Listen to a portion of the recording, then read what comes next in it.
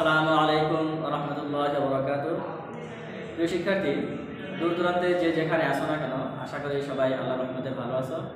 আমি আলহামদুলিল্লাহ ভালো আছি। প্রিয় শিক্ষার্থী, তোমাদের সামনে উপস্থিত হয়েছি ষষ্ঠ শ্রেণির বিষয় ইসলাম নৈতিক শিক্ষা, দ্বিতীয় অধ্যায়ের পাঠ তিন, তহারত সম্পর্কে আলোচনা করব। তহারত, এখানে আরবিতে বলা হয় তাহারত, বাংলায় এর অর্থ হচ্ছে পবিত্রতা।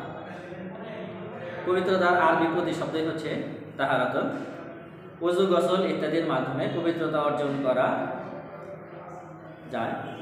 ইবাদতের জন্য শরীর অবশ্যই পবিত্র থাকতে হবে। পবিত্র না হয়ে নামাজ আদায় করা যায় না। এ সম্পর্কে মহানবী সাল্লাহ সাল্লাম বলেন, পবিত্রতা ব্যতীত নামাজ কবুল হয় না এবং আত্মসাতের মাল সাদাকা হয় না। অর্থাৎ যদি কোনো ব্যক্তি পবিত্রতা অর্জন না করে, তাহলে তার নামাজ এবং কোরআন কোরআন স্পর্শ করতে পারবে না, নামাজ আদায় করতে পারবে না। এবং যা আত্মসাৎ করবে, অপরের জিনিস চুরি করবে অথবা ডাকাতি করবে, আত্মসাৎ করবে অন্যের মাল এই সমস্ত মাল দ্বারা দান হয় না। সে যদি দানও করে, তাহলে দান কবল হবে না। তো প্রিয় শিক্ষার্থী, এই পবিত্রতা অর্জন সম্পর্কে আল্লাহ তাআলা বলেন আল্লাহ ইহিবুল মুতাহিরিন সূরা আত-তাওবার 108 নম্বর আয়াত। এখানে আল্লাহ তাআলা বলেন, আর উত্তম রূপে পবিত্রতা সম্পাদনকারীদের আল্লাহ তাআলা ভালোবাসেন। পবিত্রতা যখন অর্জন করা হয়, তখন পবিত্র থাকলে শরীর এবং মন সুস্থ থাকে।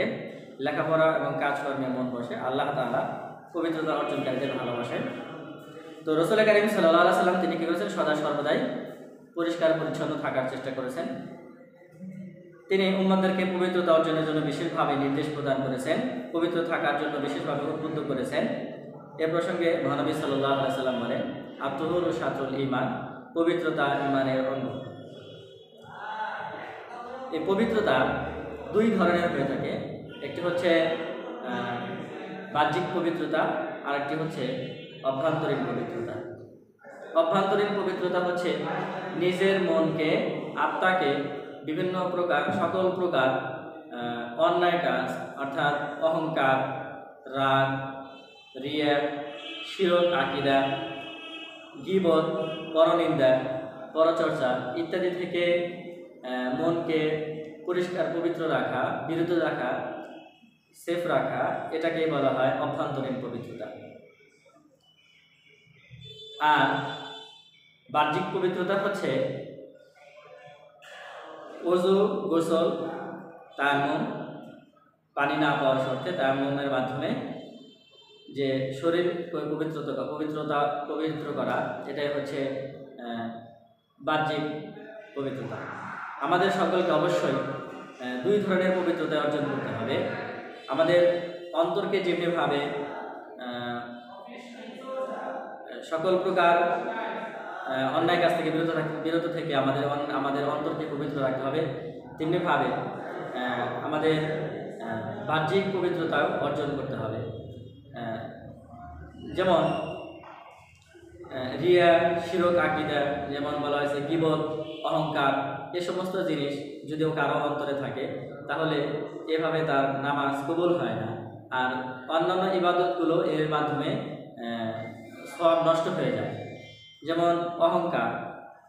অহংকারের মাধ্যমে মানুষের মানুষের সব দূর হয়ে যায়। গিবোধ করলে যে ব্যক্তি গিবোধ করবে গিবোধ করার দ্বারা কি হয়ে যায়? নিজের সব যার নামে গিবোধ করা হয় তার আমল নামায় চলে যায়। তাহলে এই সমস্ত অন্যায় কাজের মাধ্যমে আমাদের আমলগুলো বরবাদ হয়ে যায়। আর যদি কারও অন্তরে শিরক আকিদা থাকে, তাহলে তো এই অবস্থায় কারও ইবাদত কবুলই হবে না। যতক্ষণ পর্যন্ত সে খাঁচি মনে তওবা না করবে ইমান না আনবে, ততক্ষণ পর্যন্ত তার কোনো ইবাদতে আল্লাহ দরবারে কবুল হবে না। সে হয়তো দুনিয়াতে মনে করবে যে সে একজন খাঁটি মুসলমান, বিভিন্ন ধরনের ইবাদত করে থাকে, কিন্তু শিরক আকিদা থাকার কারণে সে পরকালে মুশরিকদের সাথে মুশরিকদের অন্তর্ভুক্ত হবে, তাদের সাথে সে চিরকাল জাহান্নামে থাকবে। এবং বাহ্যিক যে পবিত্রতা, এই বাহ্যিক পবিত্রতা অবশ্যই অর্জন করতে হবে। বাহ্যিক পবিত্রতা অর্জন না করলে তার নামাজ হবে না, সে কোরআন স্পর্শ করতে পারবে না। এই জন্যই অবশ্যই অজু গোসল করতে হবে, ভালোভাবে পবিত্রতা অর্জন করতে হবে। যখন কারও কেউ পেশা করে, সাথে সাথে পেশাব পায়খানা ইত্যাদির মাধ্যমে ইত্যাদির পর সে কী করবে? ভালোভাবে অজু করে নেবে। গোসলের প্রয়োজন হলে সে সাথে সাথে গোসল করে নেবে। সে নাপাক অবস্থায় থাকবে না। পবিত্রতা এবং অপবিত্রতা, এই দুটি বিষয় হচ্ছে শরীয়তের এর মানদণ্ড হচ্ছে শরীয়ত। নিজের জ্ঞান, বুদ্ধি বা অভিরুচির মাধ্যমে এর এই বিষয়কে কম বেশি করার অধিকার কারণেই কেবল সেসব বস্ত্র বস্তুই পবিত্র, যাকে শরীয়ত পবিত্র বলে ঘোষণা করেছেন। অর্থাৎ প্রাথমিক অবস্থায় আল্লাহ তাআলা সকল কিছুই পবিত্র বলে ঘোষণা করেছেন। তো কিছু কিছু ক্ষেত্রে যে সকল বস্তু আল্লাহ তাআলা অপবিত্র বলে ঘোষণা করেছেন, সে সকল বস্তু বস্তু অবশ্যই অপবিত্র। নিজের খেয়াল খুশির খেয়াল খুশি অনুযায়ী ওই সমস্ত জিনিসকে পবিত্র হিসাবে ঘোষণা করা যাবে না, পবিত্র মনে করা যাবে না। কেননা এই পবিত্র এবং অপবিত্রতার মানদণ্ড হচ্ছে শরীয়ত। শরীয়ত অনুসারে আমাদের সকলকে পবিত্র, অপবিত্রতা অর্জন করতে হবে, পবিত্র থাকতে হবে। এই জন্য আল্লাহ তাআলা বলেন সূরা আল মাইদার ছয় নং আয়াত আল্লাহ তাআলা বলেন, মা ইউরিদুল্লাহু লিয়াজআলা আলাইকুম মিন হারাজি, ওয়ালাকিন লিইউতাহহিরাকুম তা আল্লাহ তাআলা তোমাদের উপর কোনো অসুবিধা রাখতে চান না। বরং তিনি তোমাদের পবিত্র পবিত্র করতে চান। তো আল্লাহ তালা চান আমরা যেন সর্বা, সদা সর্বদাই পবিত্রতা অর্জন করে থাকি।